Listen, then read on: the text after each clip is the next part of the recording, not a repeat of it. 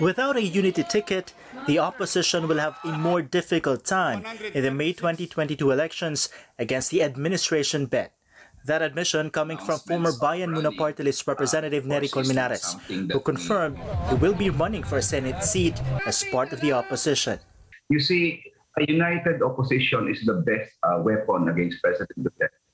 Uh, uh, an opposition that you know is not that united into a single one candidate will increase the level of difficulty with regards to uh, opposing or defeating President Duterte. I'm not saying the opposition will lose. I'm saying it increases the level of difficulty. This is exactly what political science professor Julio Tijanque is foreseeing. Five or six candidates will vie for the top government post, similar to what happened in the post-EDSA revolution elections. it seems that having a uh, one-on-one between an administration and a unified opposition candidate seems to be uh, slipping away. No, uh, but of course, there's still uh, some possibility. No, so uh, the window of opportunity for that would be October. The race to Malacanang got complicated for the opposition after Manila Mayor Francisco Isko Moreno Dumagoso confirmed his bid for the presidency. For Dr. Ari Sarugay of the UP Political Science Department, it would have been better for the opposition if Vice President Lenny Robredo paired up with Moreno as their vice presidential running mate.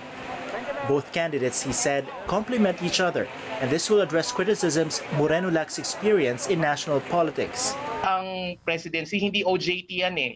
Ah, while willing kang matuto, baka dapat pag-aralan mo muna ang posisyon bago ka tumakbo sa posisyon na yon. I don't think in our present circumstances that we can afford a president who will still be learning on the job.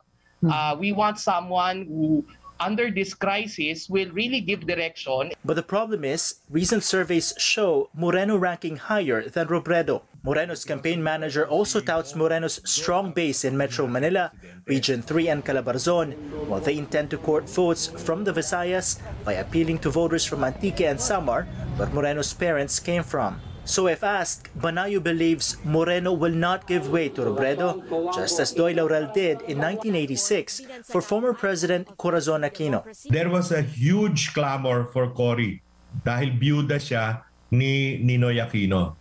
He, she was the one who could unite the opposition, not vice versa. Ngayon, nakikita natin, ang numbers ni Isko are more than double the numbers of Vice President Lenny. Sad to say, he will run only for the presidency.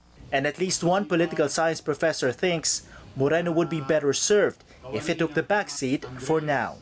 sa tingin ko may exit option naman si Mayor Isko eh. Pwe- kasi pwedeng niyang sabihin na yung panghalatang interes ng ng bayan sa tingin niya will be better served kung united ang opposition given his youth pwedeng pwede naman hindi naman yan katapusan ng karera niya eh. One pressing challenge for the opposition is how to convince diehard supporters who, at this point, already question if Moreno can even be considered part of the opposition. Moreno briefly served as President Rodrigo Duterte's Social Welfare Undersecretary before he won Mayor of Manila in 2019. For Professor Tihanki, the opposition should also consider looking at their candidates' ability to win.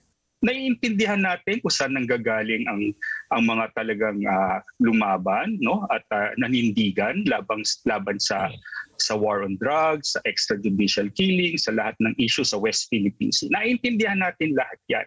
Pero kailangan din isipin natin kaya bang manalo kung sino man ang manok na papatakbuhin ng mga nasa oposisyon.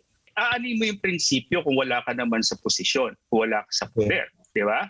So, wala ka rin magagawa. Mike Navalio, ABS-CBN News.